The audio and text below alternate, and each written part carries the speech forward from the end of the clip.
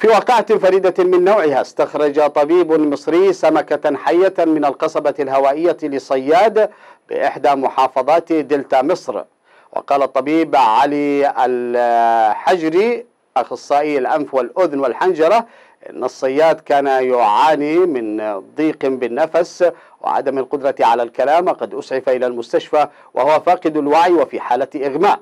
واستقرت السمكة بداية في القصبة الهوائية وكانت حية بعد استخراجها باستخدام المنظار الجراحي. وأصيب الصياد بنزيف داخلي وبعض الجروح ويخضع للمراقبة الطبية في العناية المركزة بعد الجراحة. ورجح الطبيب أن السبب وراء وجود السمكة بهذه الصورة داخل القصبة الهوائية أن يكون المريض قد وضع السمكة في فمه لالتقاط شيء آخر بيده.